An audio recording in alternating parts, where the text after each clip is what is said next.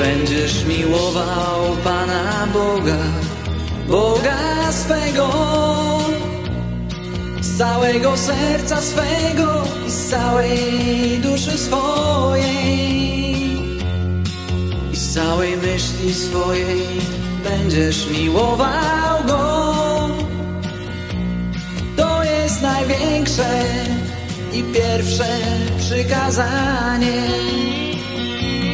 Będziesz miłował Pana Boga, Boga swego, z całego serca swego i z całej duszy swojej i z całej myśli swojej będziesz miłował Go. To jest największe i pierwsze przykazanie. A drugie temu Będziesz miłował bliźniego swego Jak siebie samego. Na tych dwóch przykazaniach Opiera się całe prawo i prorocy Będziesz miłował Pana Boga Boga swego z całego serca swego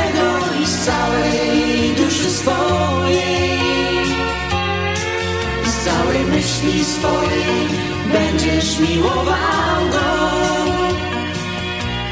To jest największe i pierwsze przykazanie, a drugie podobne temu będziesz miłował bliźniego swego jak siebie samego.